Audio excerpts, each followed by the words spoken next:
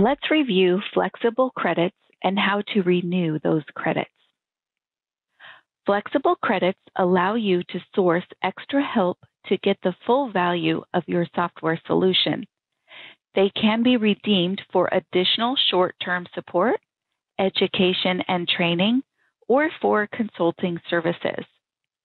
Flexible credits can be purchased with your license during your license renewal or at any time during the life of your contract. They can be saved and used for up to 12 months from the date of purchase. For additional information about flexible credits, go to the microfocus.com website, look under the Support and Services menu, and click on Premium Support and Flexible Credits.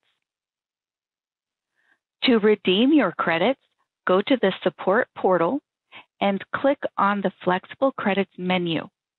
Then select Delivery Request. This page allows you to search for the type of credit.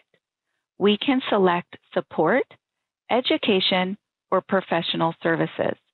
In this example, we will choose Support. Click Search to find the contracts. When the contract is returned, click the arrow to see more details.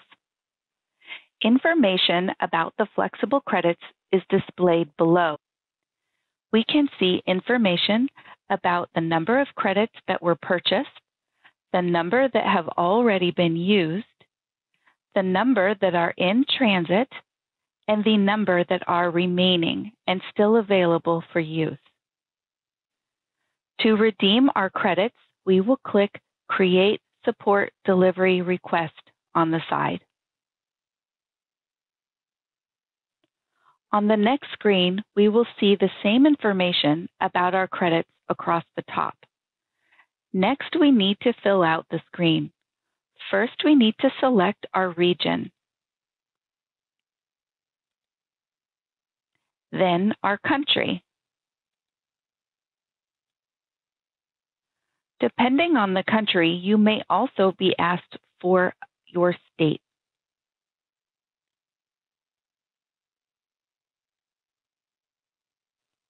The menu field allows us to select how we would like to redeem our credits. In this example, let's pretend we would like to have some additional support on a Saturday. We will select one day remote support outside business hours. Under Product Center, we will select the product. Let's choose COBOL as an example. The next field is quantity of service. We only need one day of remote support, so let's enter one. You will notice the flexible credits are automatically calculated. In this example, one day of remote support will cost four credits. We can review on the top to verify we have enough credits. In this example, we have 14 remaining credits, which is plenty. Finally, we want to select the requested delivery date. I will use the calendar to select the date. In this example, we will choose the last Saturday of June and click Save. Once the case has been saved, it will automatically display on your screen. Here you will be able to see your case number and the status of your case. You can also update the case to add a comment with more details about your request. If you opened this case by mistake, you can request that it be closed. You can also edit the priority of the case. The Flexible Credit team will be in contact with you to complete the redeeming process.